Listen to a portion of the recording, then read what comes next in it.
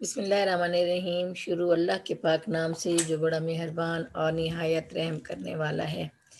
अस्सलाम Pakistan international school Taif के virtual learning system में आपको खुश आमदीद। ये उर्दू का लेक्चर जमात शशम के तलबा और तलबात के लिए है और मैं आपकी उर्दू की टीचर मिसेस सारा बानो। डियर स्टूडेंट्स आज हम अपनी उर्दू की किताब का सबक, रियाजी का इल्म पढ़ते हैं। हमारा आज का सबक है रियाजी का इल्म, जो आपकी उर्दू की किताब के सफ़ा नंबर 128 पर है। आप अपनी उर्दू की किताब का सफ़ा नंबर 128 खोलें।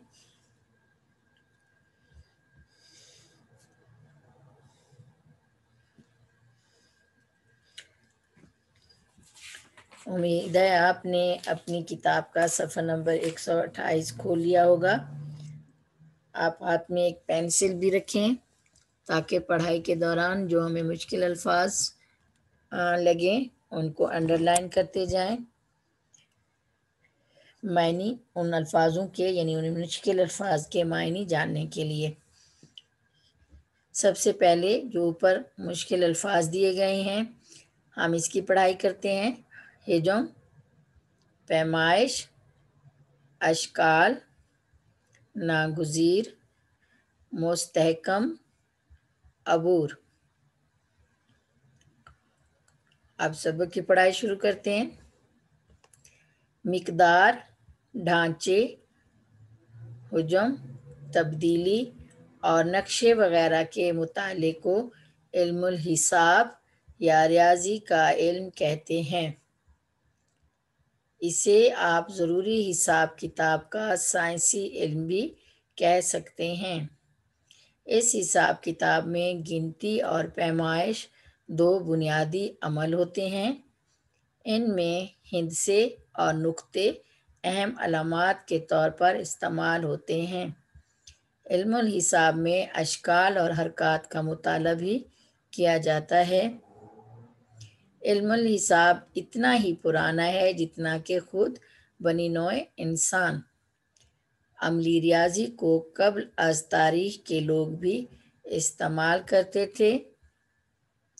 इन लोगों की रियाजी इतनी अच्छी थी कि वो गैर मादी चीज़ों, मसलन दिनों, मौसम और सालों वगैरह का हिसाब भी रखते थे। ताहम आगाज़ में लोग अशिया को शुमार करने के लिए धागों, रस्सियों और कंकर वगैरह को इस्तेमाल करते थे। कहा जाता है कि गिनती का निज़ाम सबसे पहले वादी सिंध के लोगों ने मुतारफ़ कराया था। इब्तदा में रियाजी का सिर्फ़ इब्तदा में रियाजी को सिर्फ़ तिजारत के मकसद और अराजी की पैमाइश की ज़रूरियात को पूरा करने के लिए इस्तेमाल किया जाता था। जदीद दौर में इस इल्म का इस्तेमाल साइंसी और गैर साइंसी तमाम मैदानों में नागुजीर हो चुका है। स्टूडेंट्स ये था हमारा सबक रियाजी का इल्म का सफ़ा नंबर 128 जिसकी हमने मिलकर पढ़ाई की। अभी आगे सफ़ा नंबर एक सौ उनतीस और सफ़ा नंबर एक सौ तीस। आप इसकी खुद पढ़ाई करें। मुश्किल अल्फाज को अंडरलाइन करते जाएँ या सर्कल लगाते जाएँ। फिर हम इनके मुश्किल, इन मुश्किल अल्फाज के मायने पढ़ते हैं। अब वो मुश्किल अल्फाज जो सबक रियाजी का इल्म में आए हैं, उनके मायने यानी मतलब जानते हैं, अल्फाज मायनी हजम। हजम का मतलब है जिसामत, ज़खामत, मोटाई। अल्फाज है अशकाल। अशकाल के मानी है शक्ल की जमा, यानी अशकाल जो है शक्ल की जमा को कहते हैं। अराजी। अराजी का मतलब है खेत या ज़मीन। नागुजीर लाजमी या ज़रूरी? असासी। असासी के मैनी हैं बुनियादी। फिर है मुस्तहकम। मुस्तहकम का मतलब है पक्का, मज़बूत। कवायद। कवायद के मैनी है असूल या कवानीन। अगला अल्फाज है उस्तवार करना। इस्तवार करना इसके मानी है मज़बूत, पायदार या मुस्तहकम। इरतका अर्तका अर्तका का मतलब है तरक्की, ऊपर चढ़ना, बतदरीज बढ़ना, बतदरीज यानी ऐसा ऐसा स्टेप दर स्टेप आगे बढ़ना। फिर है अबूर अबूर का मतलब है महारत दस्तरस। दस्तरस का मतलब है रसाई, पहुँच। रसाई या पहुँच। मुआवनत। मुआवनत के मैनी है मदद। अबजद। अबजद अरबी हरूफ तहजी की एक तरतीब का नाम है। फिर लफ्ज़ पैमाइश पैमाइश के मैनी है नाप या अंदाज़ा। तो ये थे वो मुश्किल अल्फाज जिनके हमने मैनी यानी मतलब जाने। अभी आप अपनी उर्दू की किताब का सफ़ा नंबर 130 खोलें। आपकी उर्दू की किताब के सफ़ा नंबर 130 पर आ, सबक रियाजी का इल्म के मशक़ी सवालात हैं यानी मश्क है। मशक़ी सवालात हैं, जिनके हम जवाब पढ़ते हैं, यानी सबक रियाजी के इल्म को जहन में रखते हुए हम इन सवालात के जवाब पढ़ते हैं।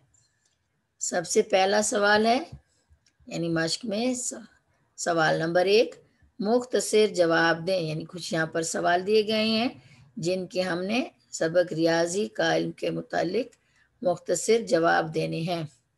अलिफ इन जुज अलिफ में सवाल है, रियाजी का इल्म किसे कहते हैं? जवाब, रियाजी का इल्म मकदार, ढांचे, हजम, तब्दीली और नक्शे वगैरह के मुताले को कहते हैं। जुज्बे, हिसाब किताब के बुनियादी अमल कौन से हैं? इसका जवाब है हिसाब किताब में गिनती और पैमाइश दो बुनियादी अमल होते हैं। जो जी में सवाल है, इल्मुल हिसाब कितना पुराना है? जवाब, इल्मुल हिसाब इतना ही पुराना है जितना कि खुद बनी नोए इंसान।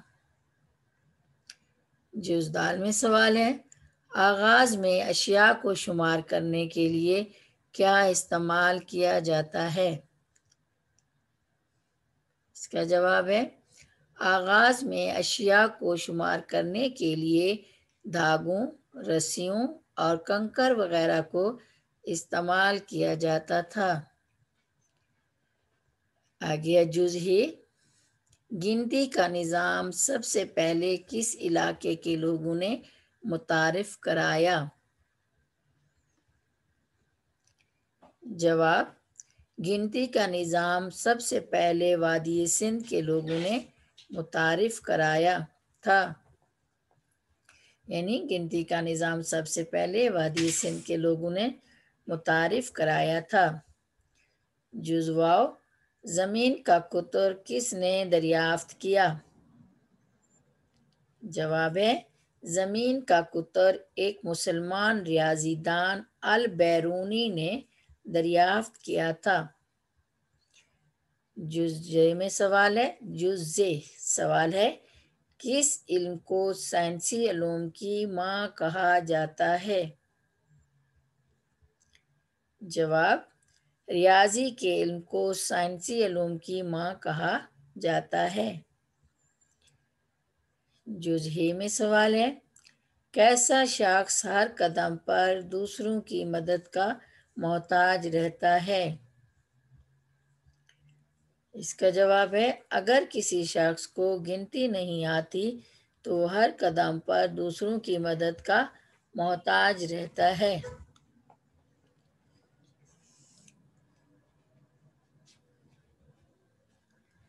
तो ये थे हमारे सवाल, जिनका हमने मुख्तसर जवाब सबक रियाजी के अलूम के मुतालिक जो कुछ हमने पढ़ा, उसके मतलब कुछ सवाल थे जिनका हमने मुख्तसर जवाब पढ़ा या मुख्तसर हमने उन सवालों के जवाब दिए। आगे है सवाल नंबर दो। अभी आप अपनी उर्दू की किताब के सफ़ा नंबर 131 पर देखें। उम्मीद है आपने अपनी किताब खोली हुई होगी। सफ़ा नंबर 131 पर आप देखें। सवाल नंबर दो है, खाली जगह पुर करें। खाली जगह पुर करें जुजालिफ मकदार, ढांचे, हजम, तब्दीली और नक्शे वगैरह के मुताले को डैश या रियाजी का इल्म कहा जाता है। अब यहाँ पर जो खाली जगह है, वहाँ पर, यहाँ पर यहाँ पर हम लफ्ज़ लिखेंगे इल्म हिसाब। यानी मकदार, ढांचे, हिजम और नक्शे वगैरह के मुताले को इल्म हिसाब या रियाजी का इल्म कहा जाता है। यहाँ पर लफ्ज़ लिखें इल्म हिसाब। जुज्बे में डैश और हरकत का मुताला किया जाता है। यहाँ खाली जगह में लिखेंगे, अशकाल। यहाँ पर लफ्ज़ लिखें, अशकाल। इल्म हिसाब में अशकाल और हरकत का मुताला भी किया जाता है। जुजिम जुजू में है, इब्तदा में रियाजी को सिर्फ़ तिजारत के मकसद और अराजी अराजी यानी ज़मीन है। अराजी की डैश की ज़रूरत को ज़रूरियात को पूरा करने के लिए इस्तेमाल किया जाता था। यहाँ पर हम लफ्ज़ लिखेंगे, पैमाइश। यहाँ पर लिखें, पैमाइश, यानी इब्तदा में रियाजी की सिर्फ़ तिजारत रियाजी को सिर्फ़ तिजारत के मकसद और अराजी की पैमाइश की ज़रूरियात को पूरा करने के लिए इस्तेमाल किया जाता था। जुजदाल, हालिया दौर में डैश लोग भी हिंसों और सादा जमा तफरी की सूझबूझ रखते हैं। यहाँ पर लफ्ज आएगा, अनपढ़। अनपढ़ लोग, यानी हालिया दौर में अनपढ़ लोग भी हिंसों और सादा जुम जमा तफरी की सूझबूझ रखते हैं। जुज जुजहे डैश, ऐसा इल्म है जो मौजूदा कैलकुलेटर और कंप्यूटर में बुनियादी और मरकजी हैसियत रखता है। यहाँ पर लफ्ज आएगा लॉगरथम यहाँ पर लिखें लॉगरथम ऐसा इल्म है जो मौजूदा कैलकुलेटर और कंप्यूटर में बुनियादी और मरकजी हैसियत रखता है।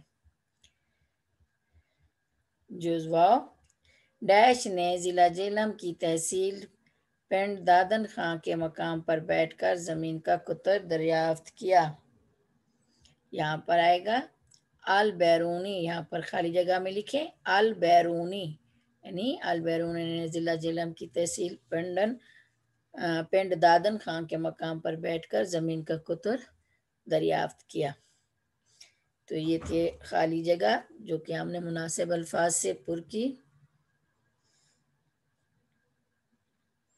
आगे है सवाल नंबर तीन। सवाल नंबर तीन है कि दर्ज अल्फाज के मानी लिखें। मुश्किल अल्फाज के मायनी हम पहले पढ़ चुके हैं, लेकिन मैं फिर आपके सामने दोहराती हूँ। यहाँ पर लफ्ज़ है अराजी। अराजी का मतलब है खेत या ज़मीन। फिर है नागुजीर। नागुजीर के मायनी है लाजमी या ज़रूरी। फिर है मुस्तहकम। मुस्तहकम पक्का या मज़बूत। फिर है उस्तवार। उस्तवार मज़बूत। मुस्तकम पायदार। फिर है मुआवनत। मुआवनत के मैनी है मदद। ये था हमारा सवाल नंबर तीन। आ गया सवाल नंबर चार, दर्ज अल्फाज को जुमलों में इस्तेमाल करें। यानी अल्फाज में दिए गए हैं, हमने इनके जुमले बनाने हैं। तो अब हमारा पहला अल्फाज है हुजम। हुजम का जुमला है, हुजम का मुताला रियाजी में किया जाता है। आगे है पैमाइश। इसका जुमला है, हिसाब किताब में गिनती और पैमाइश दो बुनियादी अमल होते हैं। फिर है अलामत। लामात का जुमला, गिनती और पैमाइश के अमल में हिंद और नुक्ते अलामत के तौर पर इस्तेमाल होते हैं। आगे है फिर अशकाल। अशकाल अशकाल का जुमला है हिसाब में अशकाल का मुताला भी किया जाता है। फिर अल्फाज है हमारे पास, गैर मादी। इसका जुमला है, दिन, मौसम और साल वगैरह गैर मादी हैं। आगे है सवाल नंबर पाँच। सवाल नंबर पाँच है, दुरुस्त जवाब की निशानदेही टिक से करें। यानी यहाँ पर एक जुमला दिया गया है, फिर चार ऑप्शन है।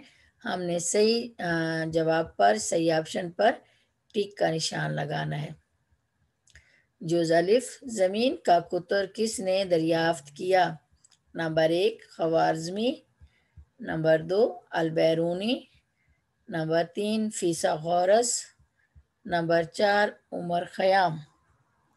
इसका सही जवाब है ऑप्शन नंबर दो अल बैरूनी यहाँ पर टिक लगाए। जुज्बे रियाजी का इल्म इतना ही पुराना है, जितना ये इंसान, जितनी ये ज़मीन, जितनी तिजारत, जितना खुद इंसान।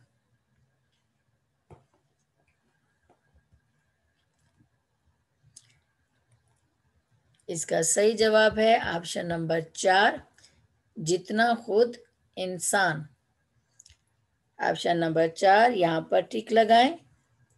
यानी रियाजी का इल्म इतना ही पुराना है जितना खुद इंसान।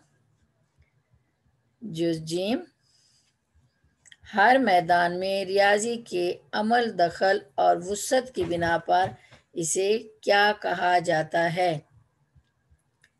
तमाम साइंसी की बुनियाद तमाम साइंसी का मरकज़, तमाम साइंसी की माँ, तमाम साइंसी का महवर।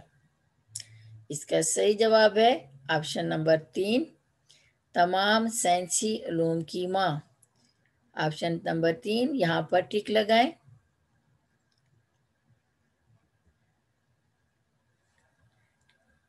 अभी आप अपनी उर्दू की किताब का अगला सफ़ा खोलें, सफ़ा नंबर एक सौ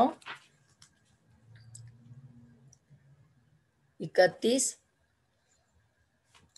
पर हम ये सवाल नंबर पाँच पढ़ रहे थे दुरुस्त जवाब की निशानदेही कर रहे थे, टिक लगा रहे थे।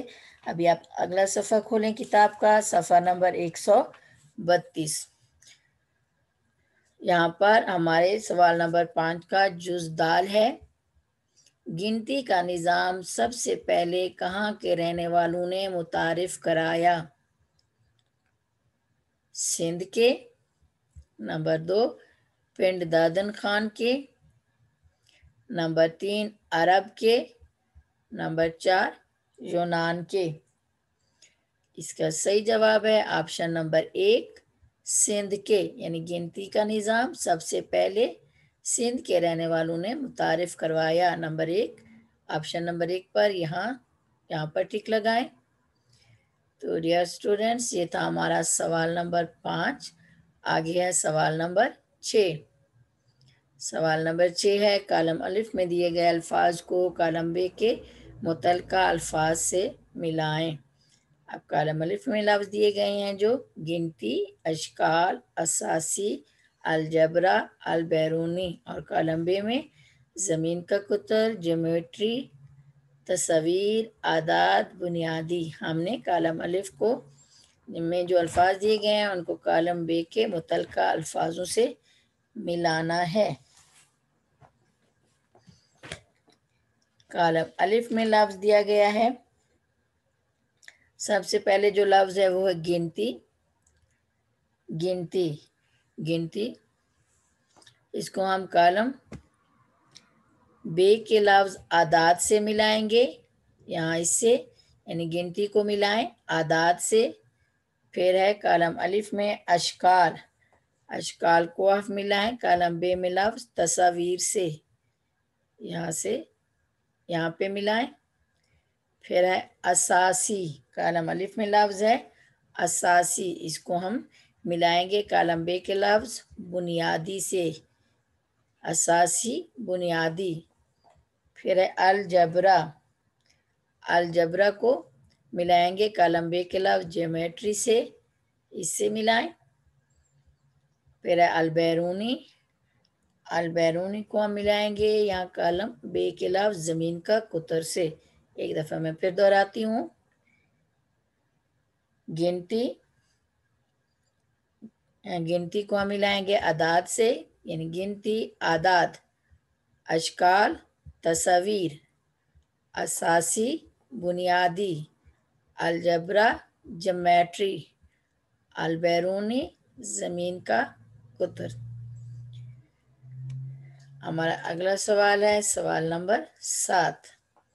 इल्म रियाजी की कोई सी पाँच किस्मों के नाम लिखें।